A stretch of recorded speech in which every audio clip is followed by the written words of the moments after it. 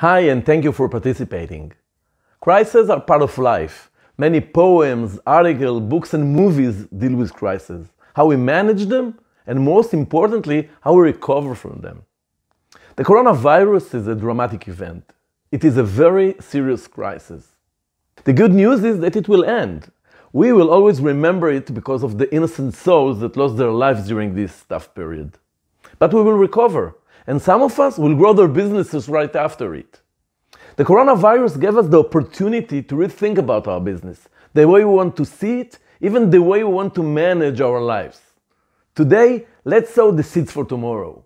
First, I suggest that you write down how you see the world after the coronavirus. How do you see your community, the optical industry? I am sure that many things will change. What is your opinion?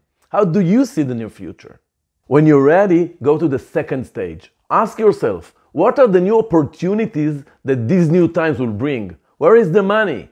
How will people want to buy your solutions tomorrow morning? Would they prefer to use technology for remote communication?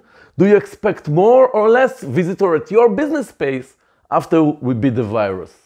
Make a short list of the strengths of your business, the things that you're doing really well. Is it the professional level of your team members? Maybe you're benefiting from your excellent reputation in your area. Do you maximize the potential of every sale? Now, write down the weaknesses of your business. Do you suffer from too many returning orders? Why? Are your employees committed and dedicated to the business and achieving its targets? Or do they just come to work every day? What can you do in order to change this? How would you evaluate your level of professionalism? Are you ready to serve your customers using remote communication tools? Let's proceed to the most important part. What do you want? What will make you feel great? Are you happy? What would you like to change in your life in order to be happier? Now, make an action plan.